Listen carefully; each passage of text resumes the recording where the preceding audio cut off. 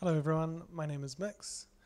Um, we're going to be looking at the terminal for the next half hour. No.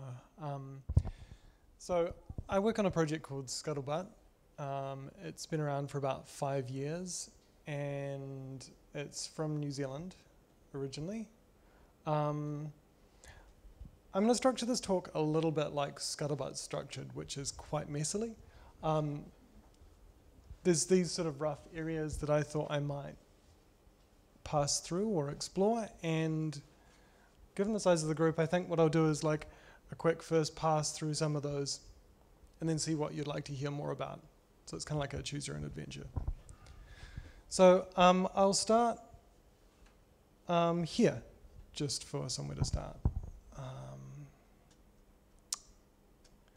so from experience, describing Scuttlebutt can be a little bit tricky because it's a community as well as a software project, um, which is a bunch of its success. Um, here's a summary of our principles stack, which is, it kind of blends, um, I guess, political perspectives and beliefs with code um, beliefs.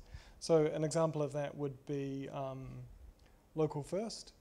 There's an observation that um, global databases and global forums are really great for some things, but they're also really not great for some things, like listening to strangers. Um, and perhaps it would be good to build things which are for communicating with people who you know. Um, and local first also means let's build things so that they work offline, so that they're super resilient, work in locations without the internet. Um, yeah. And what are some other things? Um, independence and interdependence are two other favorites of mine. Um, interdependence means let's work together, let's collaborate on things. Independence means you can't tell me what to do. Um, as in, I shouldn't necessarily be bound to having to collaborate with some people if I want to like publish things in different formats. And by having both of these values at the same time, um, we have like quite a lot of resilience and dynamism. Um, I'll come back to this if people want to ask any more questions about it. Um, I want to talk about some of the current projects. Uh, so here's one of the projects. This is a, um, so what is Scuttlebutt? Scuttlebutt is a peer-to-peer -peer database. Uh, it lets anyone publish any sort of shape of message they want. What I mean by that is like if I wanted if I wanted to publish a message of type BIP with text boom, that um, I don't know what that means, but now it exists in the network. And Zach could see it and be like, ah, that means pizza's on, or whatever. And that can be, um, you can also read that um, um, so on top of that basic, anyone can publish anything and everything has a unique um, identifier, like a key you can reference. We've built all sorts of applications. Um, many of the applications let you publish post type messages. It's just like some text with some markdown and an image if you want. This is some people in Auckland who bought, um, noticed an abandoned boat in the harbour and then commandeered it. No, they didn't. Um, they they did climb aboard and explore it, but then they found the owner, um, did some sleuthing around, and then um, bought it collectively as um, a community effort. So that's this is one of the applications. There's another one. This is private messages. These are encrypted messages between me and my friends. Don't want to leave it on the screen too long. Um, this is an implementation of chess. Um, so interesting side effect is like a lot of people enjoy uh, talking out in the open and having big group conversations, and then there's like a whole cohort of people who do nothing but communicate via chess. So you can have private chat alongside your chess game, and it's a really cozy, nice environment. Or you could just play chess and not talk. Um, what else? Um, I built a calendar. Um, can see what events are going on in November. Um, these are things from around the world from people who I follow, so I, I have their data if I follow them. So here's um, Art Hack, which is happening over at Dev Academy um, in November, earlier this month. Yeah, so um, so this is one project. It's a client. Um, so there's the database level where information moves around. This is a particular client which has opinions about how to display things. There are other such clients because not everyone wants to navigate things in the same way. So here's an example. Here's Patchwork. It looks very similar.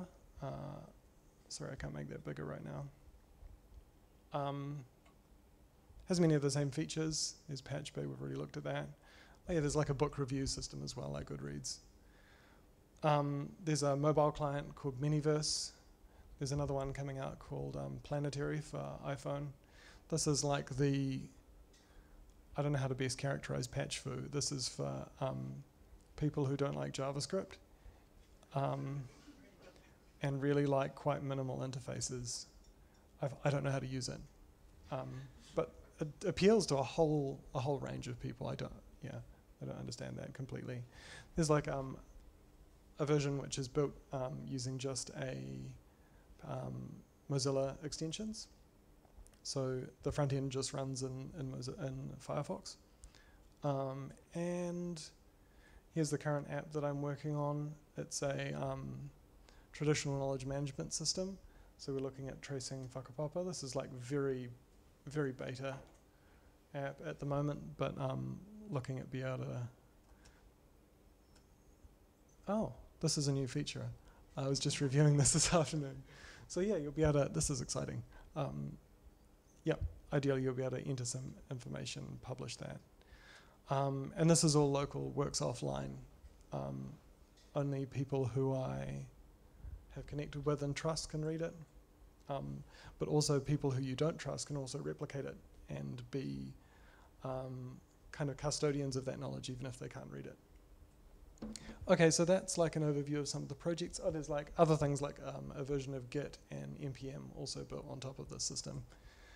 Uh, so that's current projects. We've dipped into the technology a little bit. Um, hands up if you know what a hash is. Okay, like a hash is a unique signature um, for something. So you can you take the content of your message, perform some function on it, and then you get this unique ID here. This is just the hash. And so we use that for um, content addressing things. We can just, as long as you know that, you don't need to know where the data exists. You can just summon it from the ether or from your friend network in this case. So we use hashing for addressing. We have signatures, which are cryptographic signatures. So um, my identity is based on a key pair. I sign the messages with that. People can then, because it's a public-private key pair, people can verify that it was me that wrote it, even if it came from Zach. So that's like a pretty crucial affordance in a peer-to-peer system. Um, and I think the final piece of technology is like an append-only log, as in once something is published on this system, you can't take it back. Um, I can go into the reasons why and and then how you build things in that environment if people are interested. Um, the the final domain I wanted to talk about was the community. So this is, there are people from, there's about, I think there's about 10,000 accounts currently um, registered that I've seen on Scuttlebutt. Doesn't mean I've seen them all, but yeah, there's about 10,000. Um, there are probably like at most 50 developers who are like actively building things on this. Uh, and they're based in all kind, all sorts of countries. There's there's people in um, Hamburg and um, a couple of European countries. There's like yeah France and not Brussels, but I've forgotten the name of it. Um, there's someone in South Africa building things. There's someone in Australia, people in North America, um, Brazil, and we're collaborating with some people in Namibia at the moment. So the community is um, incredibly friendly. Uh, earlier this year, I organised a camp um, outside of Wellington in Otaki, and about 50 people came from around the world. I had like sponsorship from a company that's in Silicon Valley. They put about twenty thousand dollars towards paying for people's flights to come, flights to come out. Um, that was super delightful. The so this was our like version of a conference, and the focus um, wasn't really giving talks. It was more just like hanging out, because so I, yeah I was involved in organizing it, and my belief is that if you hang out with people, then you can solve difficult problems. So yeah, we talked about technical stuff, but we also like just hung around and um, shared meals and stuff. Um, yeah, and through that we um, yeah got to do things like diversity and inclusion work, which is like who do we want to be building this open source project? Whose voices do we want to be present? Um, so some of the money from from that company was channeled into this, but we also had like um, people give about like five thousand dollars towards um, scholarships, so we're able to like pay for people to attend who wouldn't otherwise have been able to. And personally, that that journey's been like really rewarding um, for me, and I think for the community. Um, means we've got more queer people, more artists, more different voices, which I'm really excited about. Um, I'm going to pause there and um, take some questions which might help direct where you might like more information. So uh, you mentioned uh, that the backend is pretty flexible on the shape of the data, uh, and there are multiple implementations of the front ends. Um, do you ever run into problems where a lot of the content that people create is just completely incompatible or unviewable from various different clients? Yeah, that's a great question. Um, so building in this way, you can't, you don't get to validate data as it goes into the database because the database could be over there. The, as in, like my friend wrote it, I, with their weird client called Patchville or something. So um, it can totally come through weird, and that means that the onus is on the reader who's interpreting the data that they've received to make sense of the data that they've received. And you you have choices. There's one which is like this is a bit weird but I can kind of munge it into the format that I think I can make sense of this. Or, um, and I'm, I'm leaning more towards um, like a, a, a, much more brutal thing, which is like I build a JSON schema. If your thing gets through the filter, I know how to deal with it and it's easy, but otherwise I'm just going to ignore it. Um, so this is that like um, independence, interdependence tension, which is like if there's a critical number of people, it's, it's actually very like um, human language. If a critical number of people use the word munge, even if it's not like a very common word now, then you we can start to agree what the protocol is around that. And you might be forced to because if everyone but you is using it, then it's kind of a de facto standard or a specification. Um, whether you want to build an app which uh, serves munging, whatever that is, um, is totally up to you. Like you can ignore chess. You have chess. I have chess messages on my computer that mostly I ignore because they're not my games of chess, or I don't want to play chess right now. But I'm supporting them moving around. So did, sorry, I had to leave the room. Did I miss the bit where you described how things move around? No, you didn't. I I skipped over that. Um, so, um, so there's there's two main ways that things move around at the moment, um, and there's hopes for different ways in the future. The easiest, nice scenario is I have my laptop here.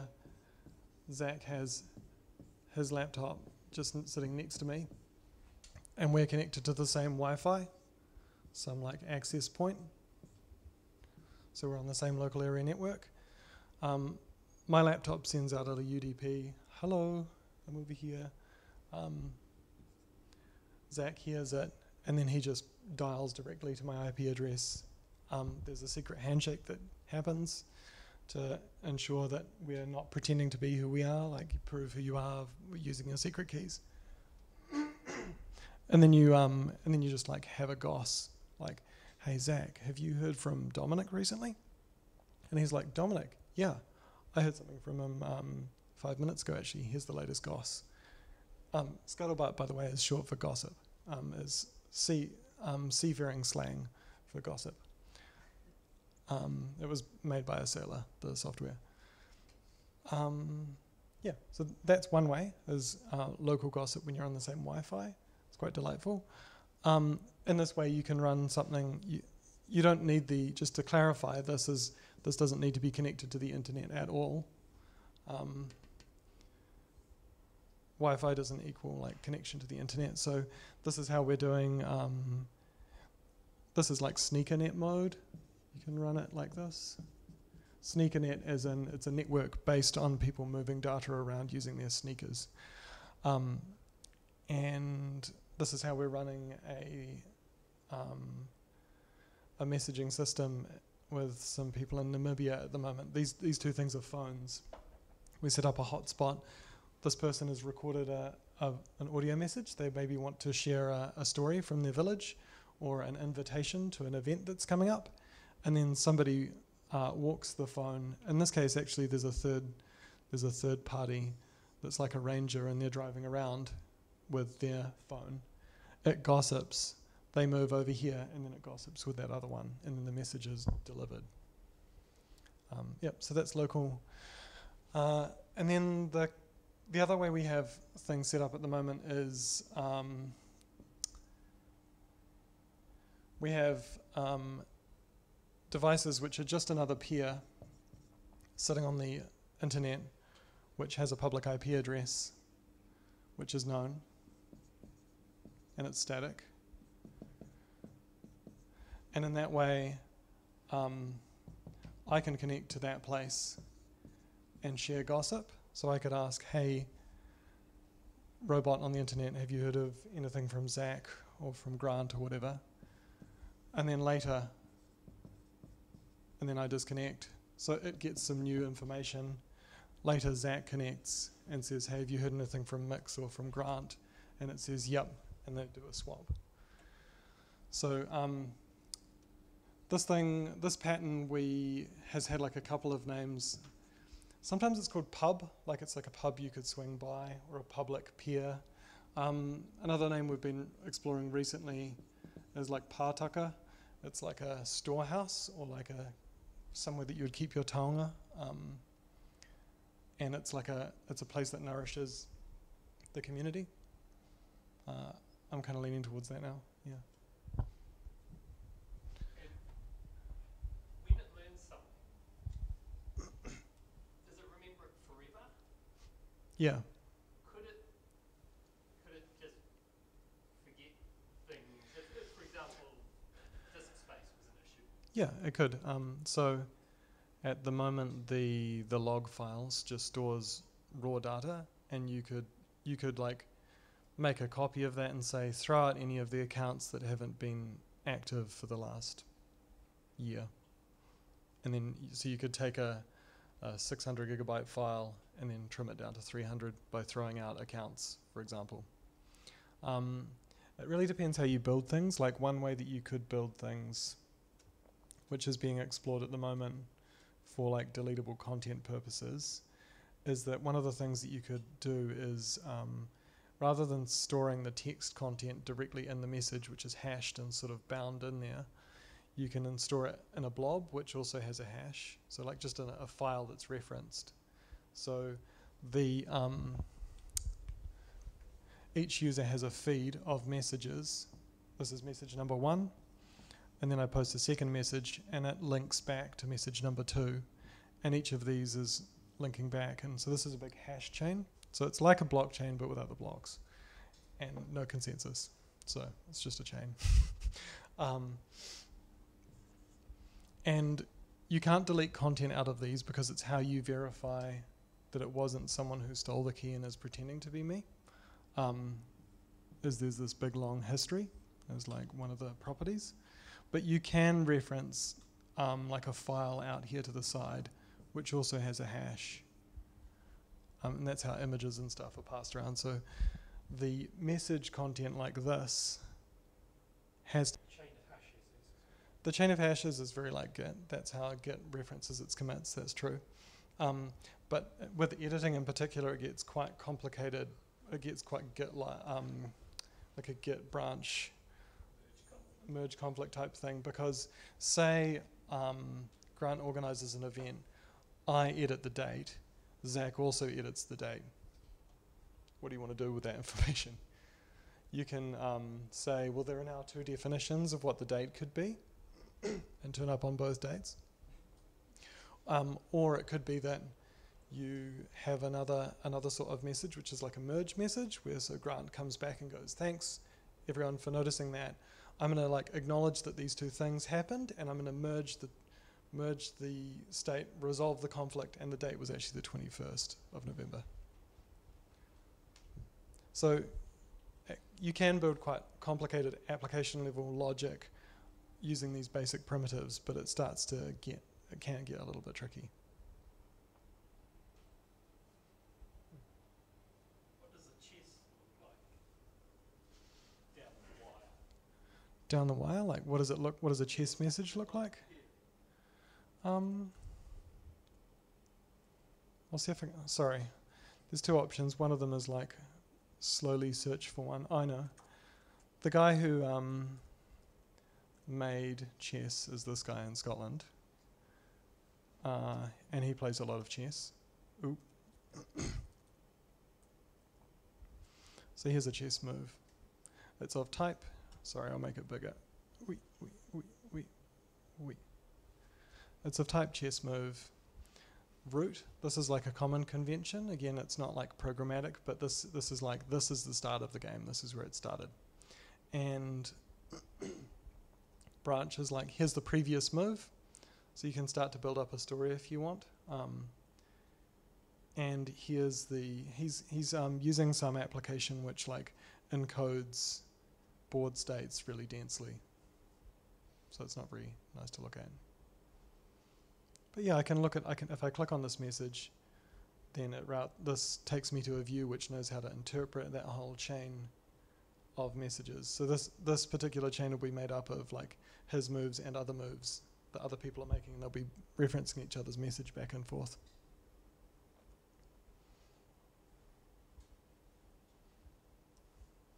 Any other questions? So are the messages encrypted?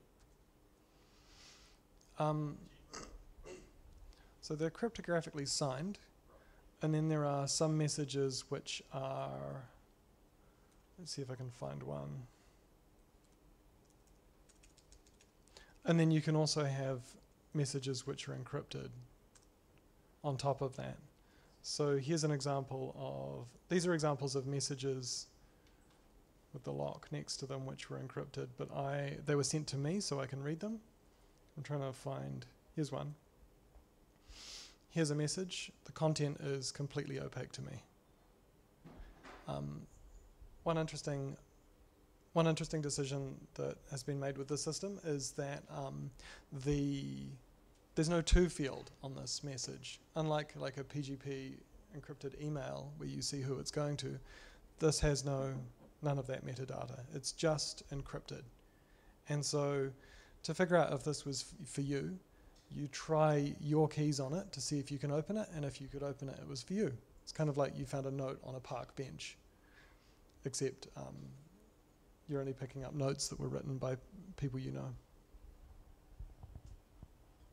So when you're when you receive a message, do you automatically like start sharing with other people? Is it like automatically shared around? Yeah, that's right. Yeah. So um, uh, the like rep- what you choose to replicate is up to you. You have to know people's public keys to be able to ask. So you can't just be like, "Give me everything you've got." I think.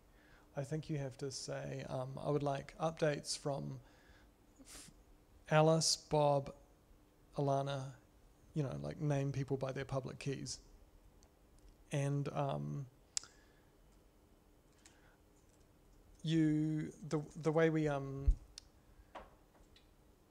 sorry i'm just bringing up a visual thing we have um kind of like a you know um, six degrees of Kevin Bacon. Do you know that thing? It's like um, at most you're probably six degrees of friendship away from reaching Kevin Bacon if you should so wish. So you could probably talk to your mum who knows someone who knows someone who knows someone who knows someone who is Kevin Bacon. Um, New Zealand's quite small. We have like about two degrees of separation here, hence the hence the telecom company, I think. Um, and so we've we've got a default set for this network as well, which is like you replicate out to two degrees of separation. So this here, this is me.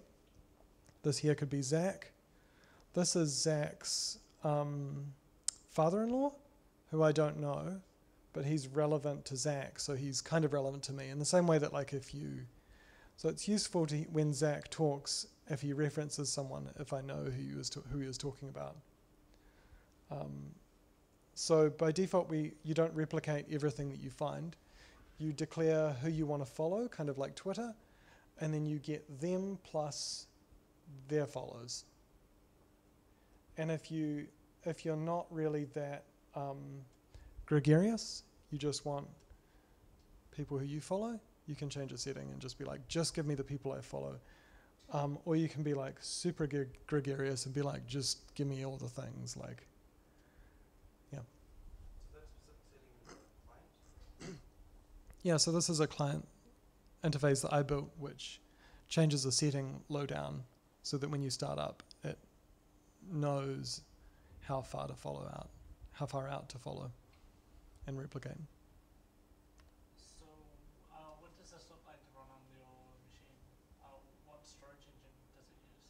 What storage engine? Yeah, database. Yeah, so it uses a custom database. Um, it looks like it's just a file. The so th- there's there's different layers of database. There's the the raw log is just an append only file, and it just shovels data into it. Um, that's not very useful. It's kind of like the equivalent of having a library where the order that the books are on the shelves or the order that you bought them or that they came into the library. It's a nightmare. Um, so, but the good, it it does have some affordances. It means you don't, you can really quickly replicate into there because you can just dump heaps of stuff in. So if you meet a new person, you can just, you don't have to do any processing. Above that, we build um, material like they're called like materialized views, as in you build an index. You say, I would like to know where all the chess moves are, please. And you just scan across that whole file and write down where they were on the shelves. And then you can say, give me all the chess moves by Happy Zero in Scotland. And it's just like, and knows where they are. So we have these indexes built on top of that. And some of those are built in LevelDB, some of them are built in SQL. It's really up to you what sort of view you want to be materializing or sense you want to be making from that mess of a library.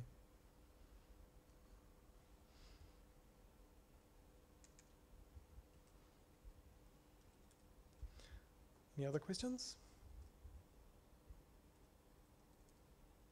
The um, sort of inclusivity and diversity book you were talking about, was that, uh, did, did that involve sort of actively reaching out to groups that weren't already uh, involved in Um, uh, yes, no. I would say more like, uh, like what I've personally found is that uh, diversity and inclusion work is all about building relationships. And so, like, cold calling someone who you don't know and being like, do you want a ticket? is, is a bit, it doesn't really work because you don't know anything about their context. They don't know you. They don't know what sort of event they would be accepting an invitation into. Um, is this a safe place for me to go? These are just some random nerds who, yeah.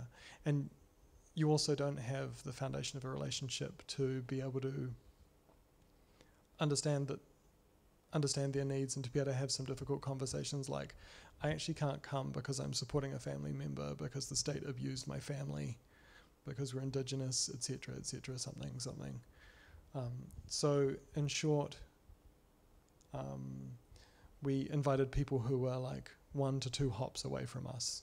So I have a friend who has an Aboriginal friend in so called Australia, and he was already building a relationship with that person and collaboration, and because of that, we were able to um, invite them to come, and it was it felt good as opposed to just tokenistic or whatever.